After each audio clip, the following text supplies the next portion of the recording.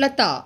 லதா நடுத்தர குடும்பத்தை சேர்ந்தவள். வினோத்தை காதல் திருமணம் செய்திருந்தாள்.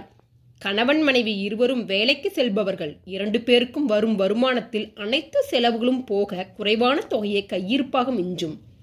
ஒவ்வொரு மாதமும் பட்ஜெட் போட்டு செலவு செய்யும் லதாவுக்கு சீக்கிரமாக ஒரு சொந்த வீடு வாங்கி வாழ்க்கையில் நல்ல விதமாக செட்டிலாக வேண்டும் என்ற ஆசை.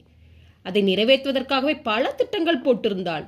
அதற்காகவே திருமணமாகிய ஐந்து வருடங்களுக்கு பிறகும் குழந்தை பெற்றுக்கொள்ளும் எண்ணத்தை தள்ளி போட்டு வந்தாள். அவளது கணவன் வினோத் அவள் மீது மிகுந்த பிரியம் வைத்திருந்தான்.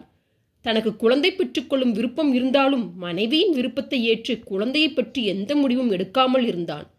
அன்று அலுவலகம் முடிந்து வரும்போது திடீரென பெய்த மழையில் இருவரும் நன்றாக நனைந்து வீட்டுக்கு வந்தனர். அதன் காரணமாக இரவே லதாவுக்கு காய்ச்சல் ஏற்பட்டது. கொரோனா பரவல் நேரத்தில் லேசான காய்ச்சலாக இருந்தாலும் உடனே மருத்துவரை பார்ப்பதே நல்லது என இருவரும் அடுத்த நாள் காலையில் அரசு மருத்துவமனைக்கு சென்றனர்.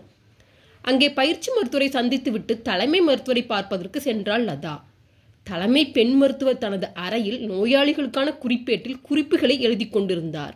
கதவை தட்டிவிட்டு உள்ளே சென்றவள் அவரை பார்த்ததும் ஆச்சரியத்தில் அப்படியே நின்றாள்.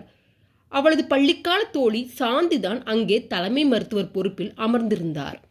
இருவரும் ஒருவரை ஒருவர் அடையாளம் கண்டு கொண்டனர் பரஸ்பர விசாரிப்புகளுக்கு பின்பு லதாவின் கணவர் குழந்தைகள் பற்றி கேட்டார் மருத்துவர் சாந்தி.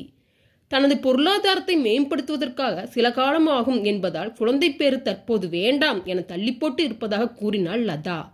அதை கேட்ட சாந்தி லதா பள்ளியில் படிக்கும்போது பருவத்தே பயிர் செய் என்னும் பழமொழியை படித்திருப்பாயே.